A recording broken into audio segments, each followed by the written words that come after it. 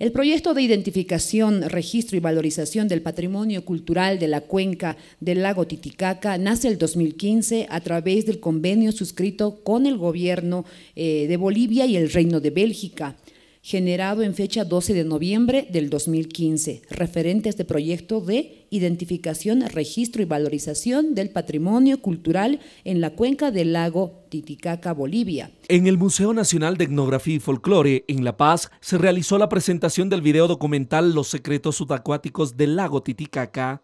convenio suscrito entre Bolivia y el Reino de Bélgica el 12 de noviembre de 2015 Luego de una inyección económica de casi 2 millones de dólares, el proyecto generó resultados en su primera fase en torno a la identificación, protección y registro de bienes arqueológicos. Todos los de la comunidad se han convertido en guías para poder hacer esta investigación que ha sido acompañada por arqueólogos bolivianos, una complementación entre Europa y América Latina, en este caso Bolivia. Este proyecto todavía tiene otras fases y tiene que ver también con no solamente fomentar el turismo, sino también la capacitación a, los, a las comunidades para que puedan prestar diferentes servicios. Y también se involucra el sector privado, que ahora ya ha iniciado con una primera etapa de prestar un servicio de buceo. Y ahí se tiene que complementar también con una capacitación mediante la, la fuerza, eh, Fuerzas Armadas, la naval, para que pueda dar capacitación a los turistas extranjeros en buceo en la altura.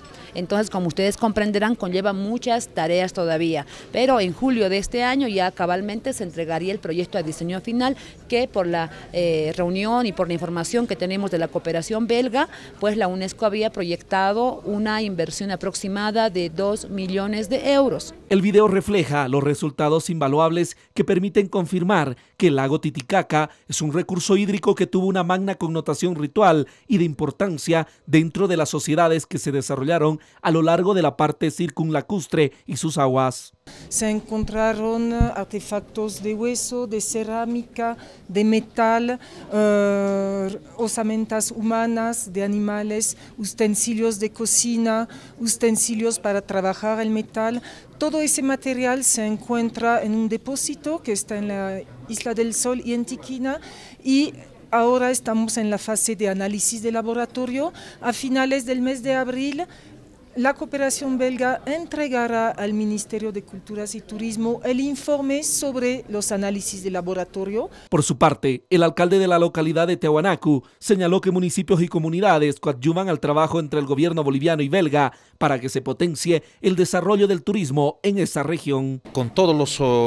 de la, participación de las comunidades vamos a tocar las estructuras sociales, tales como los malcos originarios, van a estar, digamos, las instituciones que existen en cada municipio para poder, digamos, como ha dicho la hermana ministra, la, hermana de la cooperación, para que revaloricemos y tengamos presentes estos hallazgos prácticamente, ¿no?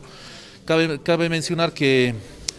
eh, este factor eh, estos hallazgos van a ser factor importante para el desarrollo de turismo en nuestras comunidades, en nuestros municipios prácticamente, queridos hermanos. El video documental muestra el patrimonio arqueológico existente en el místico Lago Sagrado, perteneciente al Estado Plurinacional de Bolivia y que ahora se refleja gracias a la ardua labor del Ministerio de Culturas y Turismo.